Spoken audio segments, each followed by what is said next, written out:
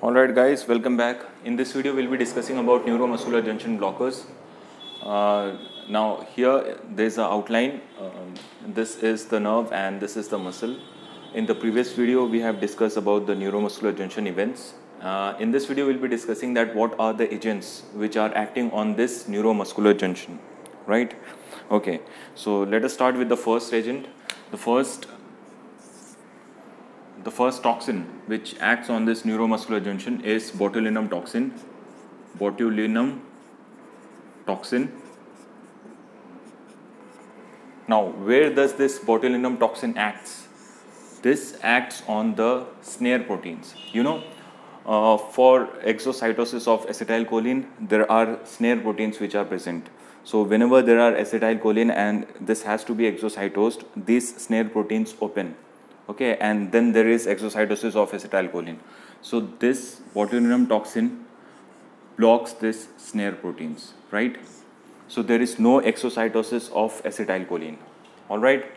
Okay this was botulinum toxin uh, mechanism of action. So this blocks blocks snare protein all right? Snare protein. And once this snare protein will be blocked this will cause uh, no acetylcholine release, no acetylcholine release, and this will lead to flaccid paralysis, right? So this will lead to flaccid paralysis, uh, flaccid, flaccid paralysis. All right.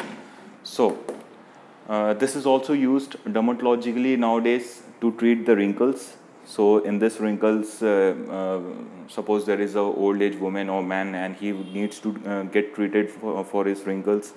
So they give botulinum toxin to the wrinkles and this causes flaccid paralysis. So this causes the disappearance of your wrinkles, right? So this was our first toxin, first uh, uh, the agent which acts on the neuromuscular junction. Now second thing is, second will be our myasthenia gravis. Okay, I'm writing the short form MG, myasthenia gravis. Now, in myasthenia gravis, what happens that this myasthenia gravis releases autoantibodies, right? These autoantibodies goes and acts on the acetylcholine receptors and it causes destruction of acetylcholine receptors, all right? So, this releases autoantibodies, all right? And this will cause the destruction of acetylcholine receptors. So once the acetylcholine which is released from the presynaptic terminal won't be able to act on the acetylcholine receptors here. So there won't be any action potential which is generated on the muscle, right? Okay. So this myasthenia gravis secretes autoantibodies, autoantibodies. Okay, this causes destruction of the acetylcholine receptors. All right. Okay. The third pathophysiology which uh, we will be discussing will be curer. Okay. Uh, I'll be writing here. The third one is curer.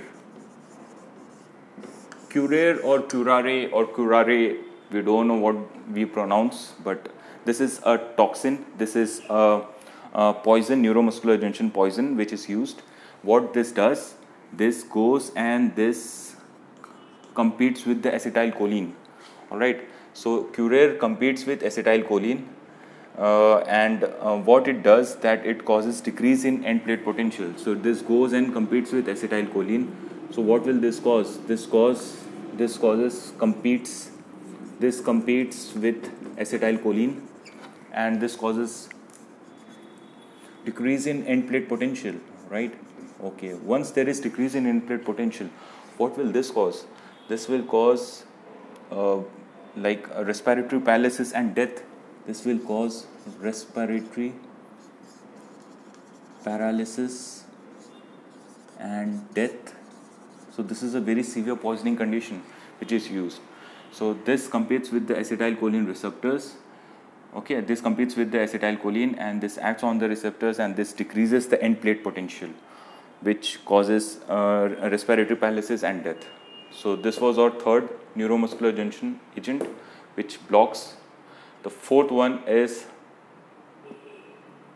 the uh, there is a, a, a, drug which is called as hemicholinium okay i'll be writing here hemicholinium all right so what hemicholinium does this blocks the sodium and choline. Okay co-transporters. So once this is blocked sodium and choline co-transporters are blocked. So here the acetylcholine which is generated in the presynaptic terminal won't be generated.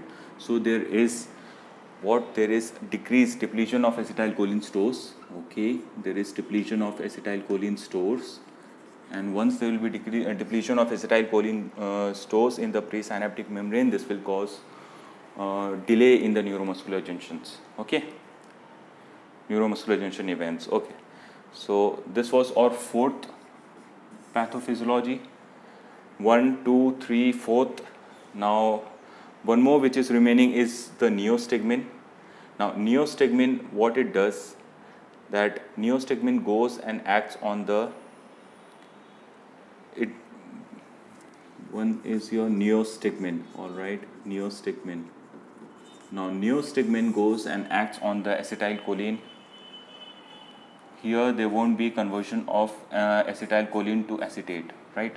So neostigmine goes and acts on the acetylcholine esterase enzyme which uh, leads to uh, decrease in the conversion of acetylcholine to acetate. So there will be increase in acetylcholine all right. So once there will be increase in acetylcholine what will this cause? This will cause prolongation of action. Prolong prolongation. Okay. Prolongation and uh, like uh, uh, this action will be pro uh, prolongation of acetylcholine in end plate potential. Right? Okay.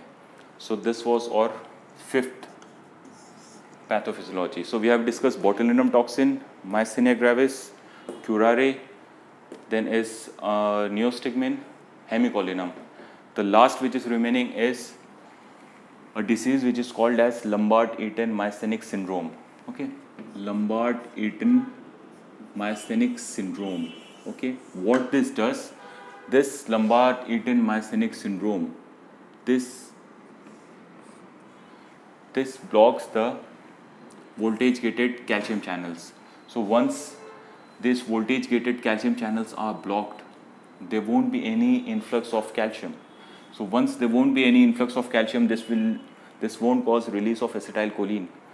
When the acetylcholine won't be released, this will uh, this won't be able uh, to act on the acetylcholine receptors, and there won't be any action potential which is generated. So Lambert-Eaton myasthenic uh, syndrome acts on the voltage-gated calcium channels. This blocks the voltage-gated calcium channels, so these individuals are having a very hard time for muscle contraction. You know. And this improves as soon as like uh, uh, having an incremental response once the patient starts exercising so these channel uh, calcium channels starts improving. So there is incremental response to exercise. All right? Whereas in myasthenia gravis there is decremental response to exercise. All right guys so we have discussed today neuromuscular junction blockers. Now in this uh, in the next video we'll be discussing about uh, skeletal muscle contraction. Thank you guys